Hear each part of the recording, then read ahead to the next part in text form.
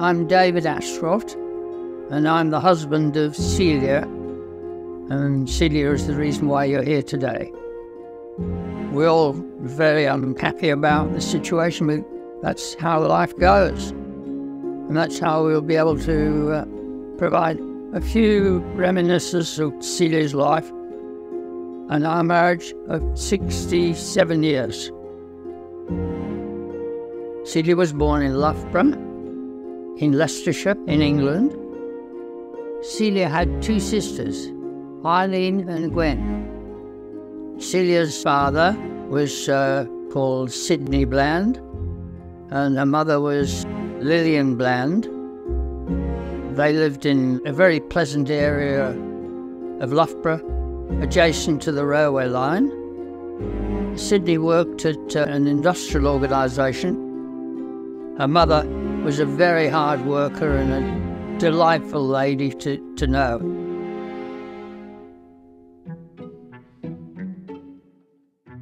In, in Loughborough College, predominantly a male university, we had to ship busloads of ladies from other colleges around to the weekly dance. I met Celia as a result of one of these dances. All the ladies would line up on one side of the hall and all the men on the other side. And when the music started, uh, we would all converge across the aisle to pick the lady that you'd chosen well in advance.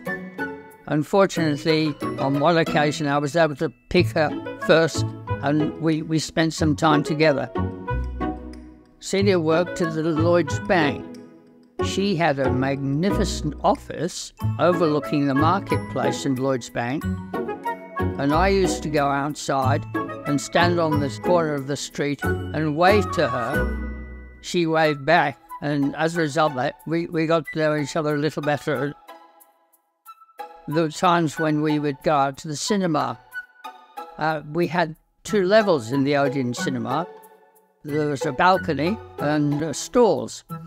In the balcony, there were seats at the back. There were double seats. And of course, these were always taken up very quickly by couples who wanted to have a bit of a snug in the seats.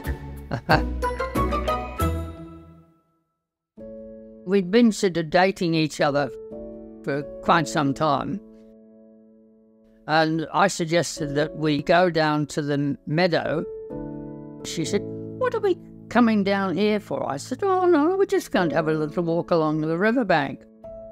Eventually, uh, I sat down on a seat and proposed to her. Of course, she was shocked and delighted, and and that was the start of uh, our, our relationship.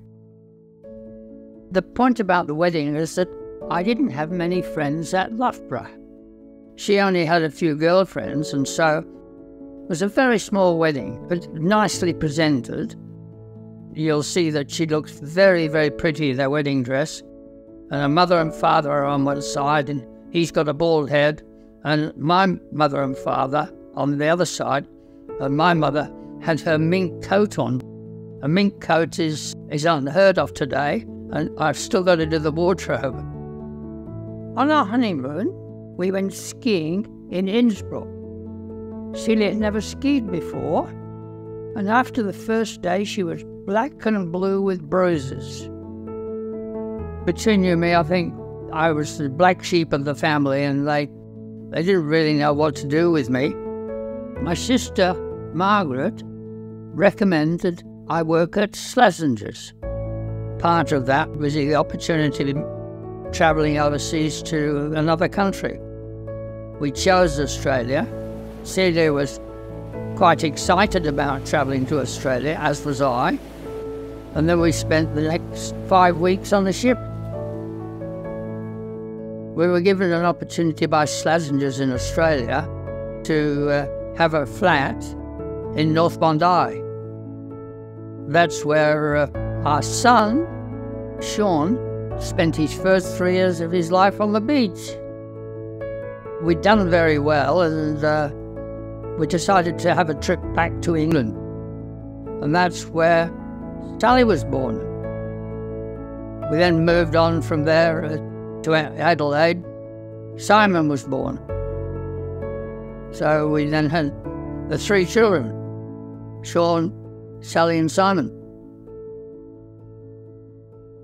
We went to an auction at the Lara Golf Club. For some strange reason, they had a lot of land and they decided to sell all this land. I bid for the first release of eight blocks on the golf course side without even getting a look in. I then decided to bid for the next block on the other side of the road from the golf course.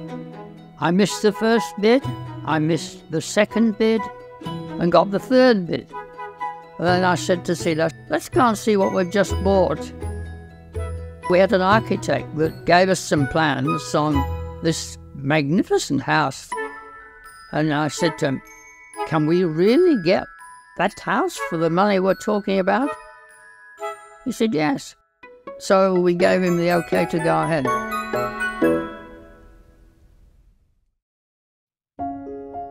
I spent a lot of time away from home. I changed businesses on several occasions and it was always Celia had to suffer. And although it was hard for her, she spent a lot of her life with our children and raised them tremendously well. After Celia had brought the children up, uh, she decided to get a job. She got a job with a friend of mine called Freddie Elderton, with whom I'd, I'd sold insurance. Celia was always number one and she ran the show did a great job. The biggest attraction I had about Celia was she was a very pretty young lady. And as we grew up, she became prettier still. And we would go out to dinner parties or uh, functions of that nature. And she was invariably the star of the show. One of the most amazing things about our relationship was Celia was always such a lovely person to come home to. She was always available to do the things I wanted to do. She was unselfish in that respect.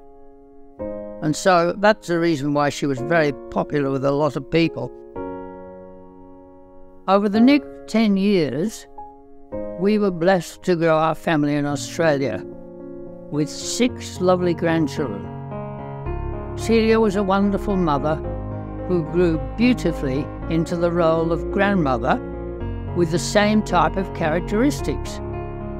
She was always there and loved spending time, whether at birthday parties or sports games or picnics.